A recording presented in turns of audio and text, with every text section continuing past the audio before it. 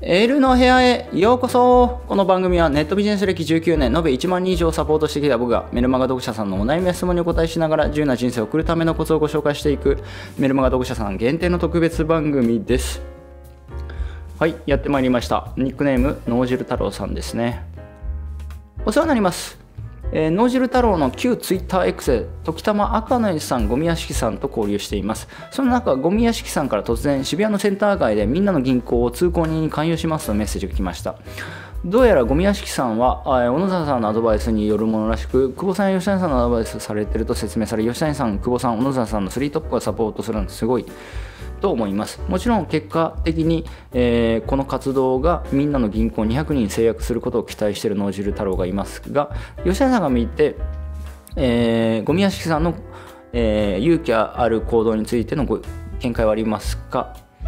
えー、ゴミ屋敷さんの放送を聞いていると可能性も大きいと思いますが正直な感想としてはすごいなと思います、えー、ちょっとしか聞いてないのではっきりはっきり言いますが脳汁太郎がもし同じ状況だったらこんな自分を変えようなんて思うかと正直自信はありません。きっと全て諦めてしまうのかもしれません。吉田さんが見て普通だったら諦めてしまう環境でも前に進もうとしているメカニズムってどう考えますか？諦めずに挑戦しようとする感情にはすごいという感じしかしないし脳汁太郎のリアルな知り合いにえー、生活保護の方が2名いますが一度生活保護の味を覚えたらもう働く意欲がなくなるのを目の当たりにしてきました、えー、結局 結局毎日パチンコ行ったり暇で孤独だから元同僚たちの愚痴を LINE で送りまくっているらしいです。その同僚たちもこの LINE の内容役所のさんも持ってってやろうかなとかネタにされて笑い話にされるのを聞いてなおさら思いですと。なるほどね。なんか今日もパチンコ行ってきたぜみたいな感じですかね。生活保護来たからみたいなね。だからこそ大半の受給者がそうなっていく中で何とか抜け出そうとしている行動す素晴らしいと思います。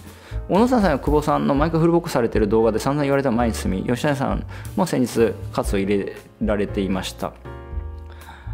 えー、これってなかなかできることではないと思います。最近、小野さんのセミナー小野田さんのセミナーに毎回参加しているのも、えー、その活動も素晴らしいと思います。うまくいく、いかないは何とかしようと思わなくうまくいかなくても何とかしようと分からなくても改善しようとしているその姿がああ自分の目の前で起こっているの奇跡がすごいですみたいな感じですね。ということで、えー、吉田さんはどんなか意見ですかっていうことなんですけども。うーん。いや逆逆にまあこれぐらい必要だよねっていう。いやなんかすごいというよりかはうーん。まあ僕はね、まあ、ずっとまあその初見じゃないので2年間僕ねゴミ屋敷さんからはそのアンチテーゼのことは言われ続けてきたので、2年間ですよ。だから40回ぐらいお問い合わせ来たんですよ。吉谷さんは動画でこう言うけれども、僕はこう思います。本当に成功できるんですか？それは一部の人じゃないんでしょうか？みたいな、その、アンチ、いや、別に僕は吉谷さんのアンチじゃないですけど、ファンですけども、思うことがありますみたいな。それ2年間言われ続けましたからね、40回ぐらいお問い合わせいただいて、そこに対してもずっと回答してきましたけども、まあそういう、ちょっとすいません、僕はそういう経歴があるので、僕からするとやっと来たかなっていう感じですかね。やっとギア入ったかなっていう感じですかね。すごいというよりかやっとギア入ったっていう。で、これぐらいギア入らないと変えられないよと思うので、いい素晴らしいと思いますよ。うん。でも、そのギア入るまでにそれぐらい2年かかってるよって話なんですよ。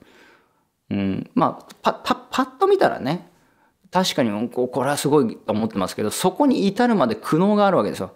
行動しようと思っても行動できない行動しようと思っても行動できない行動しようと思っても行動できないそれが2年ですよ。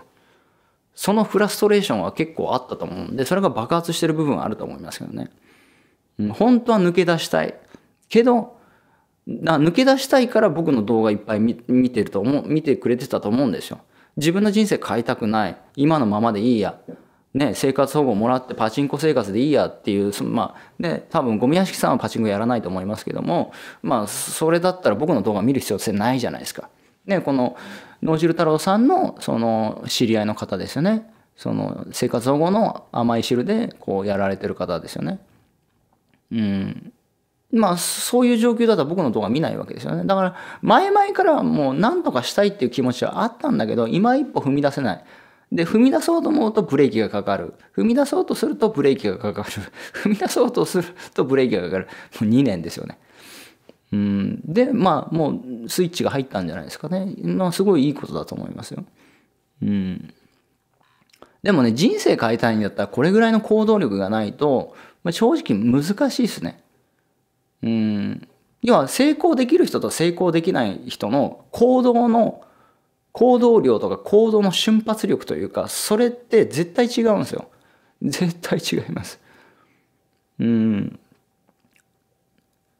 でそれがまあ行動が先かマインドが先かマインドが先か行動が先かなんかまあ卵か鶏かっていう話もあるんですけど結構ねやっぱ人生変える上で最初ってマインドってなかなかいきなりつけられないんですよ。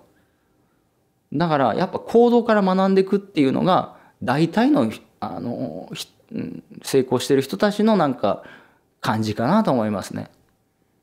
うん、もちろん全員じゃないですよ。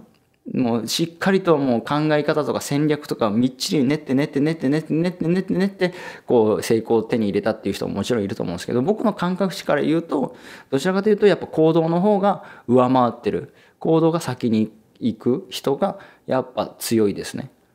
うん要はななんで行動が先の方が強いかっていうと行動が早ければ早いほど動けば動くほどフィードバックも早いわけですよ。その現場でこういう経験したその経験値もどんどんどんどん積まれるんですよね。でもそのただあのねなんだノートとペン持ってそのノートになんか戦略とか書いたとしてもそれはあくまでもノートに書いてるもので実際にやった時って違ったりするわけですよね。でも実際に行動するとそれがもう実際にリアルのテスト結果なんで、で、それのやっぱフィードバックが早いわけですよね。繰り返し繰り返しやるので。だからどちらかというとやっぱ行動をぐだぐだ考えるよりやっぱ行動が早い人の方が、うん、成功する人が多いかなと思いますね。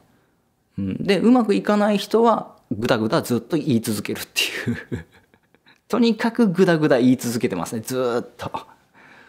うん、これはね結構ね多分時代が変わっても変わらない法則だと思いますね。うまくいかない人は一生グダグダ言ってるっていうね。そう。ああでもないこうでもないっていう。うん。そう。まあとにかくやっぱやってみる人やとにかくや素直にこうすぐやってみるっていう人の方がやっぱ強いかな。だからあのコンサル生で1億突破したコンサル生も前はそうじゃなかったんだけど考えあのそういうふうにするようにしてったんですよね。とにかくとにかくとにかく先にやってみるみたいなね。まあそういう変化が彼にもありましたね。うん。自身で言ってたような気がするんですけどね。うんそうだから例えばあのセミナー僕中止になっちゃいましたけども鷲津さんとかもそうなんですよねだから鷲津さんがその1億売り上げ突破しましたけどまあ、行動が先ですよね。まあ、とにかくセミナー行って会いに行くみたいなね。そういう感じなんですよ。僕もやっぱ習ってた時はそのセミナーねこう行ってね最前列に座ってこう習うみたいなことやってましたから。うん、だって人生変えたいしだって成功したいんだから。うん、じゃあそれの直接聞ける聞けた方がいいと僕は思うんですよ。YouTube の動画だけで成功できるんだったら、YouTube の動画だけで成功できます。世の中の Twitter に流れる情報だけで成功します。TikTok に流れる情報だけで成功できます。だったらもう成功してるよねって話なんですよね。だから、インスタントなんですよ。今って特に特に情報なんかもうインスタントに簡単に情報にリサーチできるんで、情報の重みもないし、インスタントラーメンなんですよ。だインスタント、インスタントの情報をね、すごい内容良かったとしても、インスタントみたいな感じで受け取ってるので、重みがないんですよね。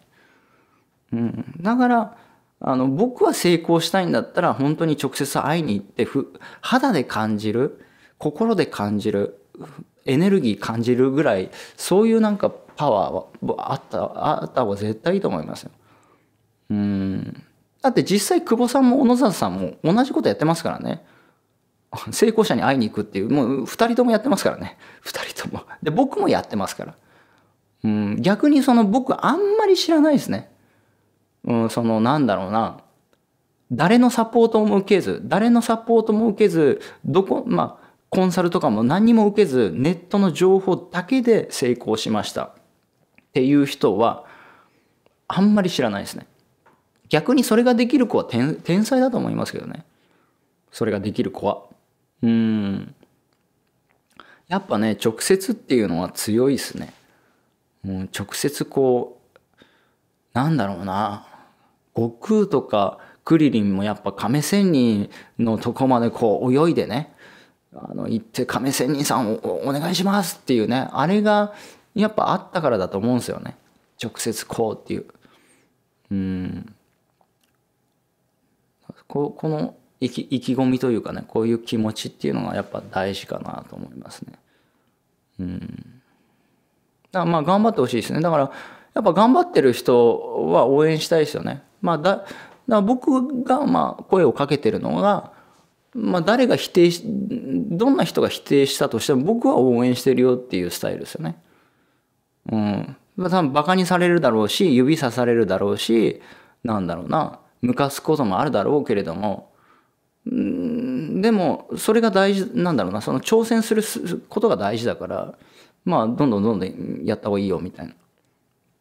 で結果が出ればあの人の目なんかもうすぐ変わっちゃいますから。もう本当にもう面白いように変わりますからね、結果出ると。今までその指さしてた人も結果が出始めるとコロッと変わるんで本当ね、これはね、面白いですよね。そう、コロッと変わるんで、結果が出始めると。うん。はい。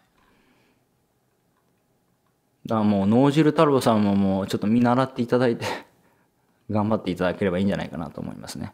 はい。では終わりたいと思います。ご視聴ありがとうございました。